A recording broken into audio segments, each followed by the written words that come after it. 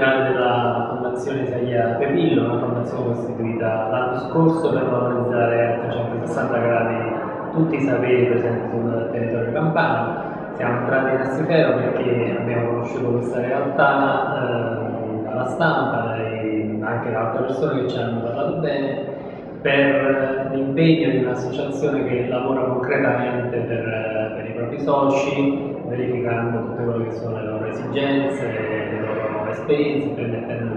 anche di creare un network eh, tra di loro. Quindi a dicembre eh, siamo entrati a Stipendo, stiamo partecipando alle prime attività e siamo contenti perché tutto quello che c'era stato detto di positivo lo stiamo riscontrando nelle varie lezioni.